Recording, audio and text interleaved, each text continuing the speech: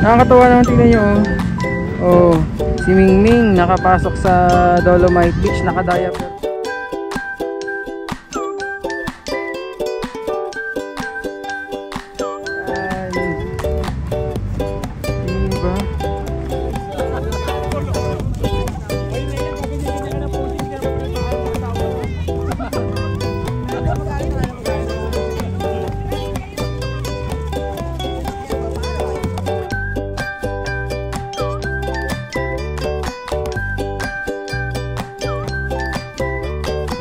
Nakakatuwa naman dahil hindi lang yung mga kababayan natin nag enjoy dito sa Dolomite Beach po no? Kasi pati sina Bantay at Mingming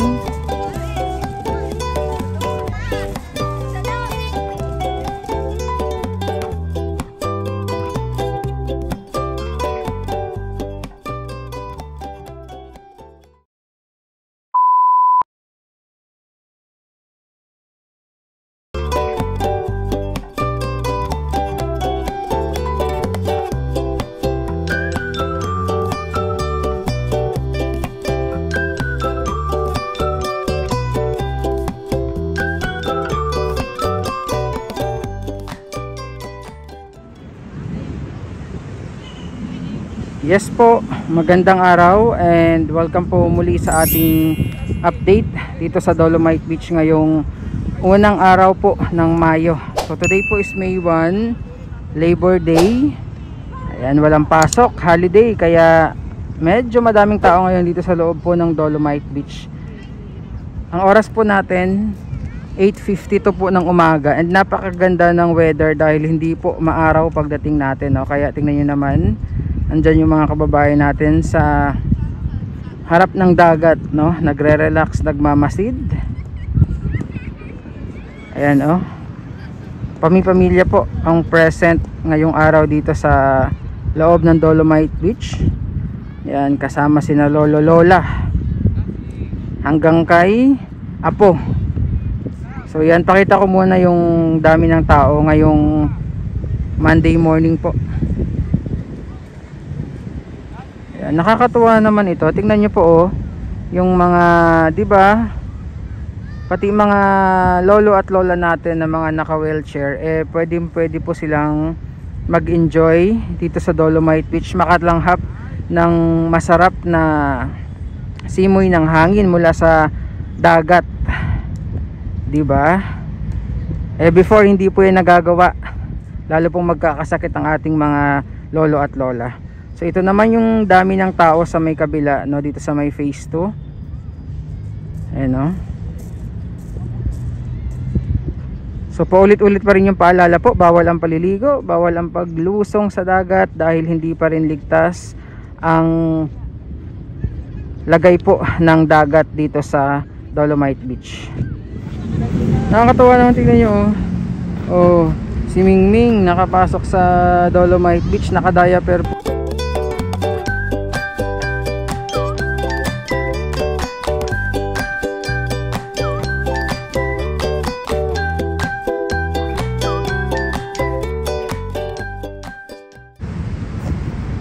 Diba? So ngayon, yung mga alaga nyo po, no, like dogs, ayan, mga pusa. O, diba? Pati si Mingming, naka-enjoy, nag-enjoy dito sa loob ng Dolomite Beach. And baka makahuli pa yan ng sariwang isda. Dahil nasa mababaw lang yung mga isda dito. Okay, so silipin muna natin yung sitwasyon ng kalat, no? Tingnan rin natin yung dagat ngayong Monday morning. Kamusta?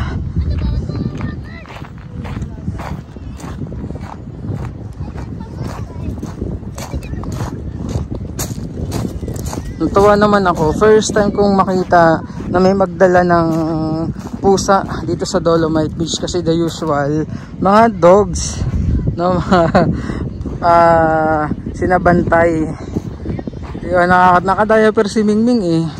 Since yun yung mga regulations po dito. At least may leash tsaka naka-diaper po. So ayan. May mga pa ilan-ilan pa rin pumapasok na mga kalat. Hindi talaga yan maiwasan.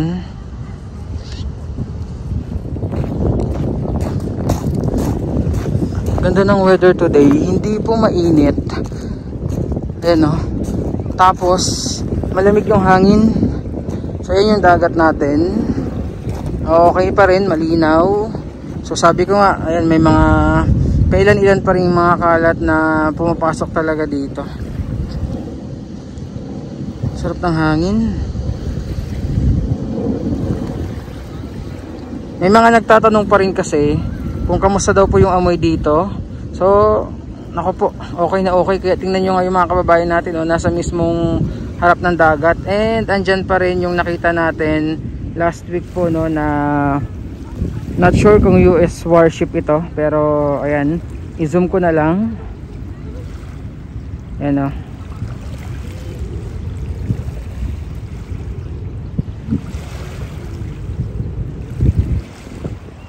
dami oh tingnan nyo naman yan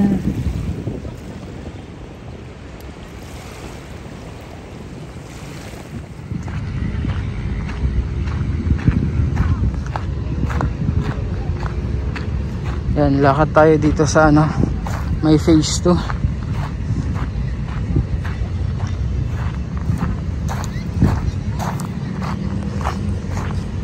Yan, kita nyo naman po, no, nami-maintain. Nami-maintain na malinis.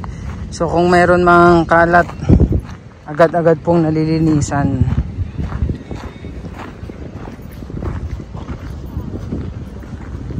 Yan o. Diba? Medyo mababa yung dagat ngayon, kaya kung mapapansin nyo, sobrang lawak nung ating beach area mula dito sa seawall, no? Ayan, low tide.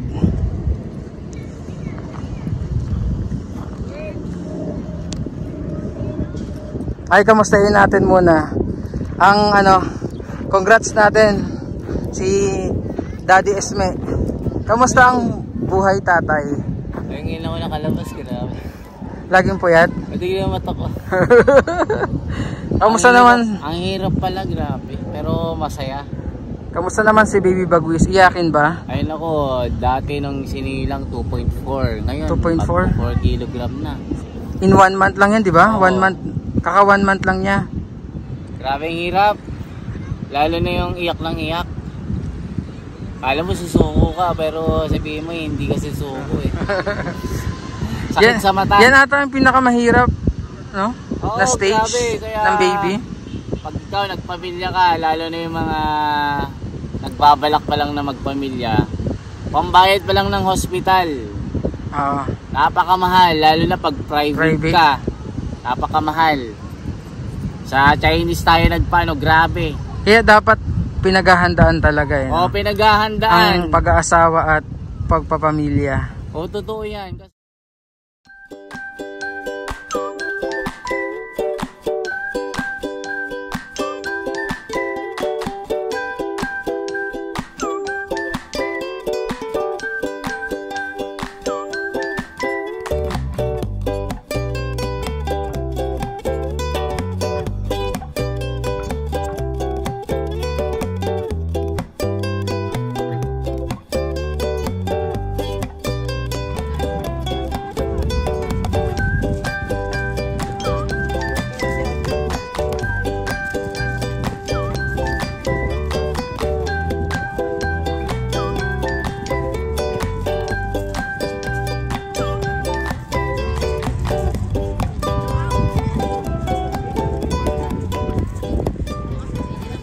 So nakakatuwa naman dahil hindi lang yung mga kababayan natin nag enjoy dito sa Dolomite Beach po no? Kasi pati sina Bantay at Mingming ayan.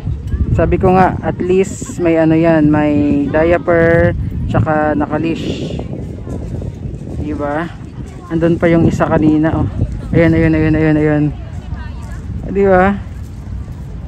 Yan at syempre dapat talagang bantay ng kanilang mga ah, fur parents po. Itawag niyo sa Ferris wheel yan,